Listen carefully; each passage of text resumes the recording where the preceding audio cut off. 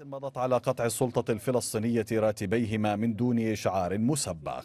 طلال ومحمد يقولان إن قطع راتبيهما جرى على خلفية حرية الرأي والتعبير في ظل الانقسام الفلسطيني.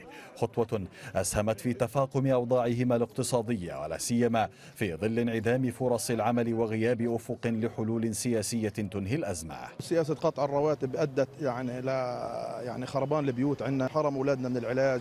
وانحرموا من التعليم وانحرموا من حياة كريمة.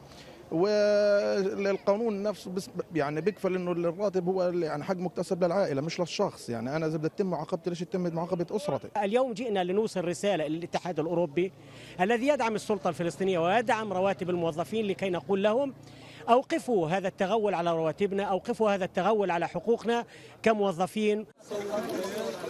هذا الاعتصام أمام مقر الاتحاد الأوروبي في غزة واحد من الاعتصامات الدورية التي تنظمها اللجنة المطلبية للموظفين المقطوعة رواتبهم في القطاع من أجل الاحتجاج على استمرار تجاهل السلطة لمطالبهم بعودة رواتبهم ولدعوة الاتحاد الأوروبي بصفته الداعم الرئيسي لميزانية السلطة للتدخل لحل المشكلة. القانون الفلسطيني كفل للمواطن الفلسطيني ممارسة حقه بالرأي والتعبير وكفل له أيضا حرية التجمع أيضا القانون الفلسطيني حمى هؤلاء الموظفين من أي إجراءات تعسفية وظالمة بحقهم.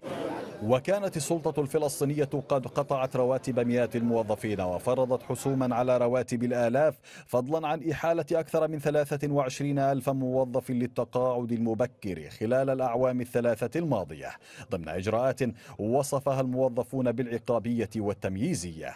ويشكل انهاء الانقسام السياسي الفلسطيني مدخلا اساسيا لمعالجة جميع القضايا العالقة في غزة بما فيها قضية رواتب الموظفين التي يمثل حلها بشكل عاجل تعزيزا للوضع الاقتصادي المتراجع في غزة بفعل الحصار الإسرائيلي. أحمد غانم غزة الميادين.